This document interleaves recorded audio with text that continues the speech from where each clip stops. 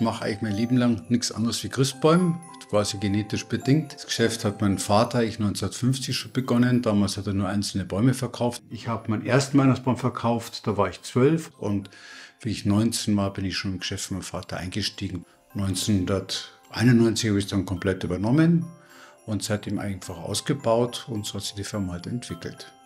Irgendwann kam der Markus mal auf die Idee, mich zu fragen, ob ich nicht Lust hätte, gemeinsam mit ihm zu arbeiten und hat mir eine Partnerschaft in der Firma angeboten. Ja, und das ist jetzt schon über zehn Jahre her und wir entwickeln uns immer noch weiter und das macht jeden Tag riesig Spaß.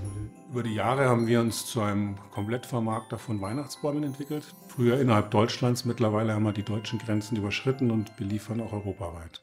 Also unsere Kunden sind äh, Einzelhandelsunternehmen, klassische Gartencenter, Gärtnereien wie auch Konzerne. Aber vor allem für unsere Konzerne sind wir ein verlässlicher Partner, weil wir wissen, wie eine Konzernstruktur funktioniert. Bei den Einzelhandelsunternehmen sind hauptsächlich Fachgartencenter und Gärtnereien zu finden. Hier bieten wir durch unsere erstklassige Qualität die Ware, die der Kunde dort auch von uns erwartet. Sogar individuelle Etikettierung der Bäume ist möglich. Hier können wir das Unternehmenslogo oder die Bezeichnung des Baumes mit anbringen. Die Nordmontanen in Dänemark wachsen besonders gut, weil das Wetter oder die Klima für die Nordmontane perfekt ist. Wir kriegen genügend Regen, wir haben nicht die heißen Sommer und äh, haben nicht die, äh, die kalten Winter mit viel Frost. Für jeder Baum, der hier geschlagen wird, wird ein neuer gepflanzt. Da wir für Silbertrees die Logistik machen, haben wir dieses Jahr einen neuen Verladeplatz gemacht von ungefähr 10.000 Quadratmeter.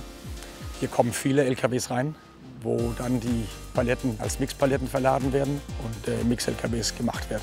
Die ersten LKWs kommen morgens um 6 Uhr rein und ab und zu läuft es bis 22 Uhr abends. Ja, es gibt Erkenntnisse, dass eine Christbaumplantage auf Verwuchszeit, das ist auf neun bis zehn Jahre gerechnet, pro Hektar 105 Tonnen Stickstoff bindet und bis zu 120 Tonnen Sauerstoff abgibt. Also eigentlich eine fantastische Umweltbilanz. Und das sind Tierarten ansässig, haben sich eingenistet im wahrsten Sinne des Wortes, die teilweise woanders keinen Lebensraum mehr finden.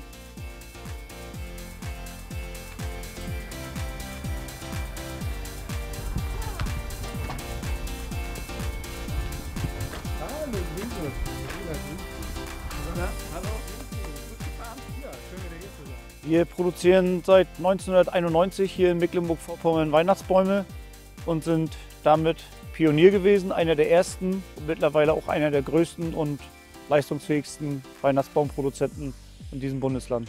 Wir haben mal mit 10 Hektar angefangen und mittlerweile sind wir bei 110 Hektar gelandet und auf dieser Fläche kultivieren wir ca. 800.000 Bäume. Also in einer Saison schneiden wir ca. bis zu 50 Tonnen Schnittgrün, woraus dann auch wieder Handbunde gemacht werden, Grabbgestecke, Totensonntagartikel. Das ist alles aus eigener Produktion, alles heimische Ware. Dadurch haben wir kurze Transportwege und können damit eine absolute frische Garantie herstellen. Wir haben uns zum Fullliner der Branche entwickelt.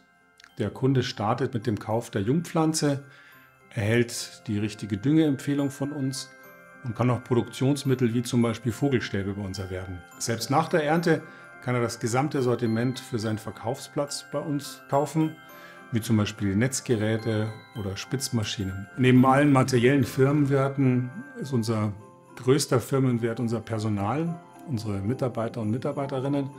Auf die sind wir besonders stolz. Wir sehen uns hier als große Firmenfamilie.